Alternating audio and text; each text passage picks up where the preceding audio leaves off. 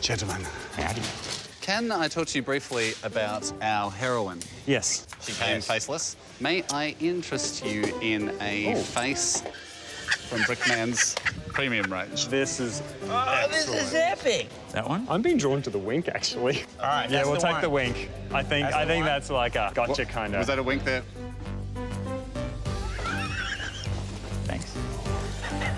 There she is. This guy, he's got the chin. I do think cocky yet determined is an excellent choice if you're leaning that way. Oh, that one's not too bad either. I think that one's the better one to go. I want to go Your cocky. wife was drawn to this one, sir. Remember who's always right. Okay. right. Yeah. An excellent choice, sir. Uh, but actually, Stani, have you seen Pretty Woman? Ah, yes. Spot on.